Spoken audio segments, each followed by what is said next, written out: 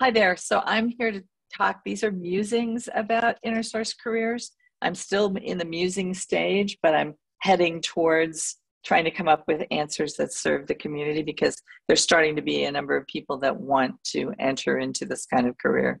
So, um, and that's great. I'm really happy to hear about that. All right. So for for level setting, uh, this is actually a picture from the first year of OSCON. Uh, they were into taking extreme pictures. Um, I want to say that I started my tech career without a tech background. My degree's in French literature, and I was recruited out of legal into my first job at a technical company. So I became a master of fake it till you make it, and I'm going to be advocating strongly for that throughout this presentation. Um, I went to Apple first, uh, and I worked there for almost and then I left and went to Microsoft for six horrible months, um, which I, I, quit on ethical grounds and came back to Apple uh, and worked for the balance of, of six years total at Apple. Um, it was uh, the whole thing was a study in old school technical methods. Both of these companies were running differently, but very much old school engineering. Um, and uh, I had a lot of time to notice that broken cultures breed inefficiency. and I also noticed that, that in tech, you don't win because you're the best technically, which is totally counterintuitive, but Microsoft taught me that um, with their commanding market share, even though they weren't working very hard at um, perfecting their product. And I thought there had to be a better way. I spent the entire time, the whole six and a half years of, that I'm talking about, going, this is ridiculous. There's got to be a better way to do this. Um, so I felt like I was stuck in the salt mines. And those of you who've seen me talk a lot know I use this slide all the time. I really feel like engineering is a bit of a salt mine for maybe 85, 90% of the people working in this craft. And that's because of the old fashioned ways that companies are content to work. But I think they're only content to work that way because they don't know that there are better choices. Um, I wanted to find out a way out of the salt mines for myself. I wanted agency, even though I wasn't classically trained. I'm not an idiot. And I was tired of people talking down to me because I didn't have a CS degree. I wanted to do good while doing well. I didn't want to sacrifice that. And I really wanted to fly. I wanted to find something amazing to work on, and I wanted to fly. And that was sort of my last thought as I was leaving Apple um, which I did because Steve came back and it was time to lay everybody off. Um, but luckily, Sun picked me up. Um, not directly. I was at Symantec for a tiny bit, but then I landed at Sun. And um, Sun was the perfect place for me to go to find all this stuff because they their culture, their engineering culture had grown out of open source. So although they weren't actively practicing inner source, they were doing as as close to that as you can do. Um, it was possible for anybody to see anybody else's code. It was possible to, to suggest changes. Not that you would they would always land, and there wasn't a ton of mentorship, but there was um, a willingness to allow people to ask questions. Um, I said yes to Sun before I understood open source very well, uh, based on my husband's recommendation that it would be a good thing to work on open sourcing Java. Um, and but agency was there for the taking as long as you you know, held your hand up, you could basically get as much rope as you wanted uh, to hang yourself with there. And that was helpful for me. Um, one of the things that was so good about the way that culture worked, we were super interested in standing on the shoulders of giants. Uh, now, in the current culture of new um, talent looking at open source, this is a less popular thought. But this was super interesting to us because the people that were around us were all legendary. I mean, Bill Joy and, and um, Whitfield Diffie, who invented Diffie-Hellman encryption or RSA encryption, and and um, of course James Gosling, but pretty much everybody at, that I met at Sun, and also frankly at Apple, were stellar people. Um, what I found when I met the leaders of these companies, and I had the uh, honor of working directly with the CEOs of all the companies I've talked about so far. Um, they were all iconoclasts and they didn't expect their people to be as iconoclastic as they were. There was a little more willingness to see that happen at Sun than there was at Apple or Microsoft. Um, I wanted a better signal to noise ratio And that drew me to Apache. I got very interested in Apache uh, about the time I joined Sun. And also in the collective triumph of open source, because a lot of the things I hated about Microsoft were exactly what the open source community was trying to fix. Um, so I did my time at Sun.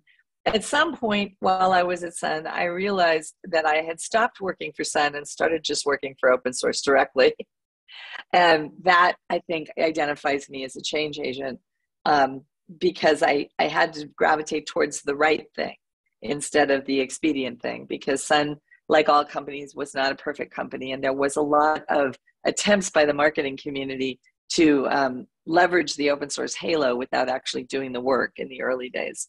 Um, I found the whole idea of enlightened self interest to be so informative of how I was running my career that is kind of what I've hinged everything on since then. Um, if I can't muster enlightened self interest about a given project, I probably need to step away from it because I'm going to need to give it more than it's giving me.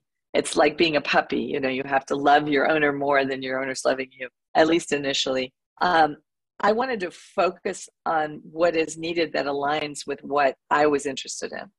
And um, so after six and a half years total at Sun, I, uh, well, six years at Sun and six months at Microsoft, I gravitated in the direction of just pure open source and started taking jobs where I was upfront with my employer that that's what I was doing.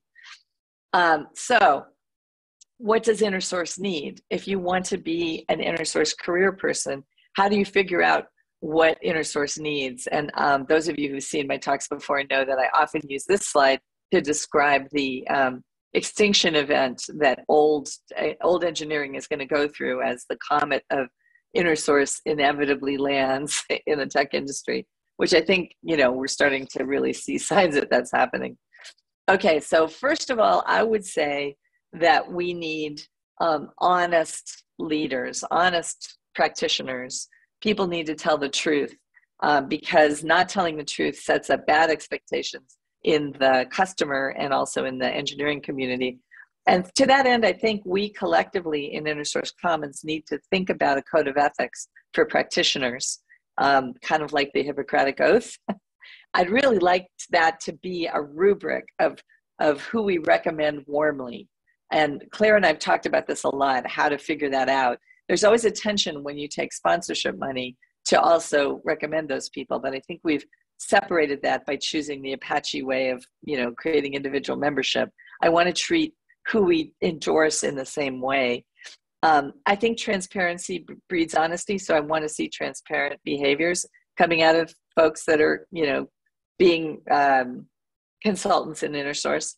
And I think that we have the opportunity at InnerSource Commons to create a referral service that's maybe got 360 ratings as part of its part of its makeup, and I have some ideas about how to make that not gameable because um, almost all of those systems are gameable in my experience. By the way, this picture is Cal Worthington, who was a very dishonest car dealer in America, in Los Angeles for many, many years. He did lots of stunts to get people interested in his business. So here he is flying upside down. All right. I also think that InnerSource needs um, data based evidence, more data based evidence than we have now. So Klaus has done great work, uh, you know, writing papers, and there are other academics involved with us who've written great papers. But we don't have a whole lot of research that answers the big questions yet. And um, I think as consultants, we have an opportunity to convince our clients that that would be a useful thing for them to be involved in. So um, I think we need to research how and why InnerSource works with data, uh, as in have some data that shows what the velocity expectations could be if you adopted open source methods and made onboarding easy, um, you know, did real advocacy, real real mentorship, did real um, real code review.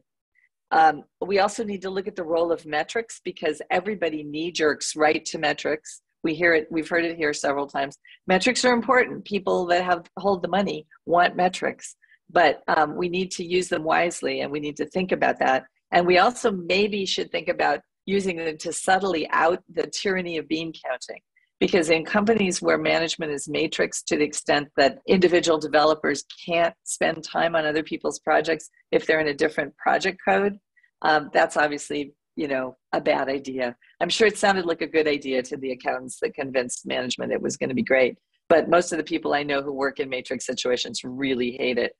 And then I think we have an opportunity as as consultants to also um, advocate for craftsmanship.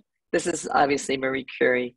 Um, okay, I also think that we need to continue to make free resources available. It's our strongest suit. We are an educational nonprofit, and producing content that is freely available and usable is a big part of what we do. This is a Moroccan woman teaching random British women at a hen party how to make proper tagine. Um, handing off recipes, handing off patterns, case studies is a lot of what we should be striving to do as consultants. So our work product should be happy clients and data for the foundation, if you know what I'm saying. Maybe also if we can talk that client into building tooling, um, also bringing tooling in. Um, being open like this accelerates adoption. It also invites copycat competitors, the sort of Lyft versus Uber problem. And we're going to have that problem. We have people with a more, a deeper pockets and more vested interest in being the first person you find when you when you look up InnerSource. That's happening now with um, Stack Overflow, even though I don't know that we've endorsed them yet as as a, a helpful additive, although I know they wanted to be that. Um, I would like our reputation as practitioners to be built on public good. So getting your clients to do some public good. Um, we always envisioned InnerSource Commons as partly a Trojan horse to get people to do open source, at least for InnerSource, because it wasn't their competitive advantage. Um, okay. Uh, I also think that uh, companies are going to want to distinguish themselves in the ecosystem. So there's two ways to do that.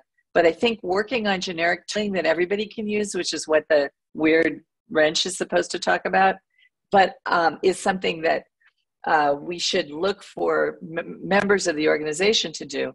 But I think that consultants have a unique opportunity to do tailored uh, work for a specific culture that is maybe then more generically applicable. And that's what the tailor scissors in the bottom are for.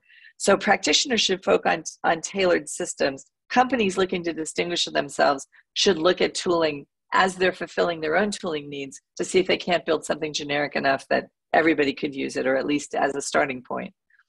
Um, and then what does InnerSource not need? Um, I would argue that it does not need a tug of war competition. Um, I think there's plenty of market share for everybody. Everybody I know is clamoring for open InnerSource help. Uh, and in the engagements that I take, I usually try to keep them short because I'm just trying to understand the market um, because I'm coming to the end of my career and I don't really need the consulting dollars, but I do need to build a consulting arm of InnerSource Commons. So that's where all this thinking is going. I think that InnerSource doesn't need big, um, big coaching. Um, so I've got this this identical army to indicate um, agile coaches. Uh, they're not actually this militarized, but they do come in and spend a lot of a, a given organization's money, and it's not clear that that one-to-one uh, white glove handling always gets you to the outcome. I didn't see that happen at PayPal, for instance. They spent millions of dollars on agile coaches, and they they um, got about 16% penetration. We got to 24 with no coaches in less time. So uh, with InnerSource. So I think um, you know the claims that Agile uh, has made that have driven well, uh, broad adoption don't actually happen in big companies, mostly because companies can't give up top-down planning, which we call Wagile, right? Um, so and but mandated tooling and mandated um, coaching just creates a rallying cry for for um, pushback. So i don't think we need to do that. I still don't. And i also don't think that we need shyster um, people saying oh this is so easy. This is lucille ball delivering the Vitameatavegamin segment if you any of you like classic television it's this hysterical thing where she gets she's getting drunk because there's alcohol in that patent medicine and she's trying to deliver a message while she's drinking it um, oversimplified advice from famous voices isn't helpful because it's not that simple. And pandering to unrealistic executive expectations also doesn't help. Uh, I think as a craft, we need to think about being honest about how much lift this takes, but also we need to do the work to figure out how valuable it is. Um, okay, so how can InnerSource Commons help with all of this? Uh, well, I have some ideas about that.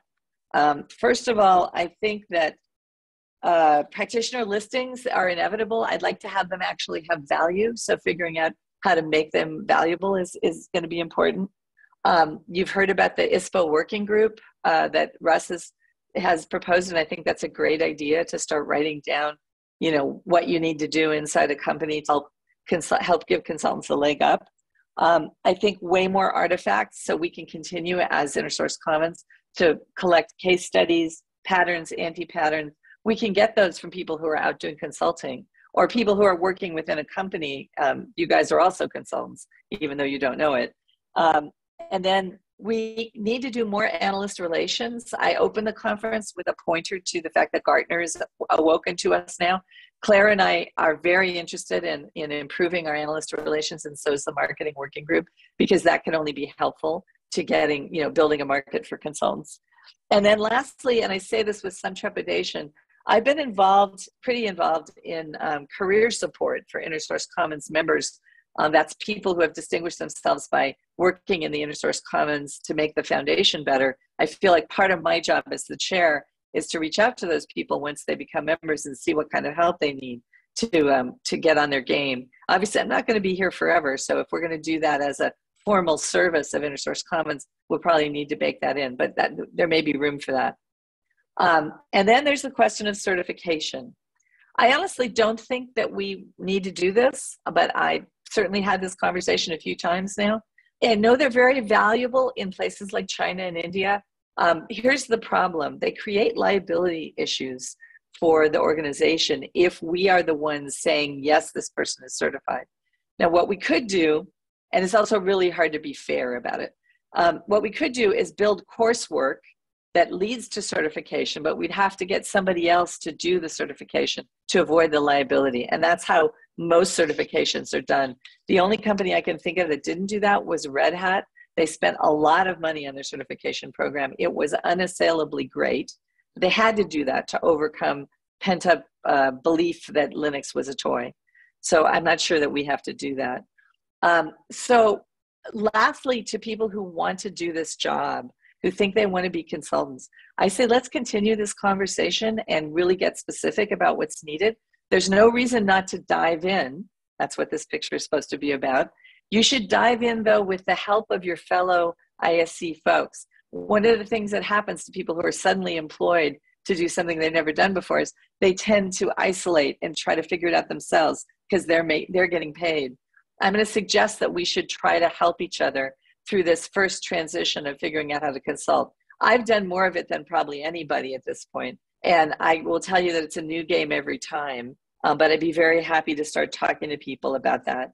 Um, stay connected through ISC, through InnerSource Commons, with other consultants. We should probably start, um, you know, a channel about that. Build generic services any chance you can inside your consulting gig um, with a plan to open source them and involve researchers every chance you get um, as well if they if they'll let you. And now in closing, I have to show you a picture of my friend Wavy Gravy because he's got the final quote.